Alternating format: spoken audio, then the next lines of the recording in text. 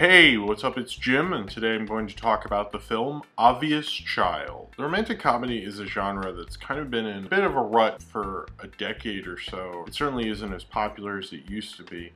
And I think one of the cliches of romantic comedy is they're very Hollywood. They're not real. They exaggerate things. Somebody has to write an article like how to lose a guy in 10 days is kind of the cliche, the most genre kind of romantic comedy. And even it feels like less real than even a sitcom does. It was very safe. People would like to watch it on their couch with their girlfriends and watch it and laugh at it and talk over it. It's not a genre people are taking very seriously. And it's not a genre that's really evolved culturally.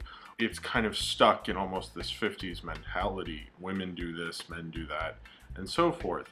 And I think Obvious Child is a evolution of a genre because Obvious Child is about a woman played by Jenny Slate who is a Brooklyn comedian who has a one night stand with a guy and then gets pregnant and decides she's going to have an abortion on Valentine's Day, no less. But between the time she has scheduled the abortion and when it is going to take place, she falls more and more in love with the guy, Max, who's a decent guy and fun to be around and funny, and they start falling more and more in love as her abortion date looms. It's kind of lighter than you'd expect, but not one that is flippant about its subject matter. It's kind of more progressive in showing that certainly everyone's experience with abortion, I'm sure, is different than this, but that she takes it so matter-of-factly and the other women who she talks to who have had abortions take it so matter-of-factly and no one talks about how, you know, their soul was ripped out or something like that. They're kind of real people who make jokes and they're funny and everything like that, but it still takes the beats of a romantic comedy while not feeling very fake and Hollywood, but also feeling very digestible and very easy to go down and kind of the things you'd expect for a romantic comedy. It feels very light, but it's not really light about its subject matter. It's not very light about what it's actually trying to do. The women in this film aren't just like perfectly super feminine and they fall into all these cliches and they're this kind of a woman and the guys aren't, you know, smoking cigars and playing cards and talking about football. They feel more like real characters. When I was a kid and I watched a Hollywood romantic comedy, I'd be like, oh, this must be what like a date's like when you're older. But then when I watched Obvious Child, I was like, oh, this is what a date was like for me when I was younger and single. And I could relate more to Obvious Child than I can now when I watch those same romantic comedies when I was a kid and I go, this must be like what it's like as an adult. And now I'm like, oh, come on, this is ridiculous. This film, I think, has more of a soul to it and has more of a realism to it. I don't think Hollywood would let them do. Certainly Hollywood wouldn't touch an abortion rom-com, but I think that's what's so great about a film like this is oftentimes I think what's interesting is when you have these independent films I think when people hear that, they think they're so different from what's going on in Hollywood. And in certain ways, this is, but it's also a very Hollywood influenced film. Having them fall in love while this thing that she's waiting to tell them about kind of works like romantic comedy kind of setup. But this is like something that someone in real life would have a problem explaining because it's a really heavy thing. So it, it works a lot better and it's something you can relate to and something you've heard a friend talk about. When you look at a film like this, it kind of shows where the romantic comedy genre could go. It feels so much like a rom-com, has the soul of a rom-com, but is far more progressive and far more real and far more like the kind of rom-com that we should have at this point rather than the rom-coms we did have or the cliches or the unrealistic expectations that we kind of laugh at and love Obvious Child doesn't do that. There are often times I could relate to it and it was still very funny. I really liked Jenny Slate and everyone kind of talking about how this is a star-making role for her. She's really good in this film. She's playing a comedian who works at a bookstore and the bookstore is closing down. She's kind of at a crossroads and it does really much nail like going out in your 20s and trying to be creative and having a job that you mainly have to do uh, your creative output and having a best friend and I wasn't as into her comedy bits. She's far funnier actually when she's the character than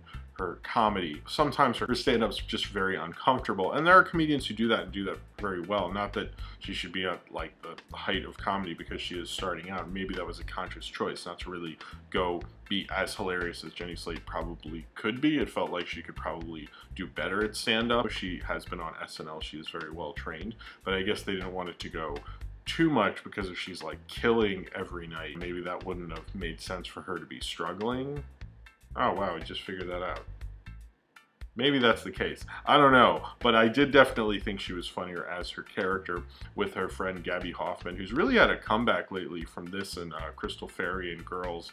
And she's probably the most sane I've seen her be since I've seen her in movies lately. Jake Lacy, who plays Max, he played a good romantic male lead. I didn't actually like him as much when he was on The Office, and as much as I think Jenny Slate could be in more movies after this and lead more movies. I think he could do this romantic lead thing again. He's actually really good at it. And David Cross has kind of a part that I think that was kind of the only filler of the movie. It didn't really have as much of a point to it. I thought most of it was actually really tight, except for that one part. Jenny Slate feels like a real woman. She makes fart jokes and she's funny and she's not like this perfect rom-com heroine, and obviously her actions would not be those kind of actions in a rom-com. That was when you get more melodramatic, but this film doesn't really do that while still being a lighter movie, which rom-coms, I guess, are supposed to be. And this film doesn't shy away from doing that while still taking on edgy topics. The director of this film, Gillian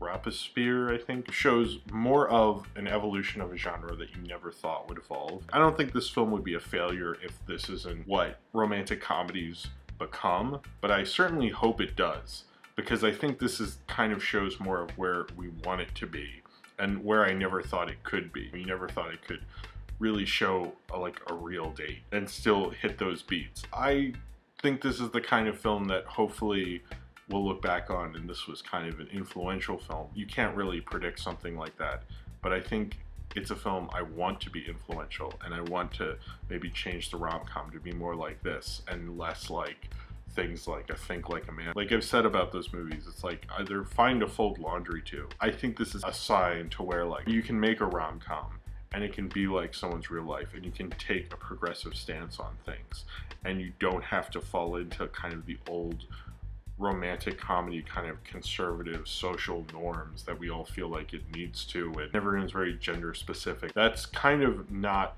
where I think the viewing public is anymore, and it's kind of really not as progressive as a film like this is. This is a breath of fresh air for romantic comedies. It was a fun film to watch, and I liked kind of seeing a lighter film take on an edgier and harder subject in a way that didn't ruin itself. It's a film that probably takes on something that a lot of films would fall apart doing, and it doesn't do that. It's so well done, it like shows what like a good filmmaker can take a genre and do something new with it and put a new spin on it to make it alive again. And I think Obvious Child does that, like a great director really can. This makes this film groundbreaking, but not just because of the abortion thing. It's what it really does with the genre. It's more than just that rom-com that tackles abortion. So if you have seen Obvious Child and you would like to talk about it, then comment below in the comments and subscribe if you would like to.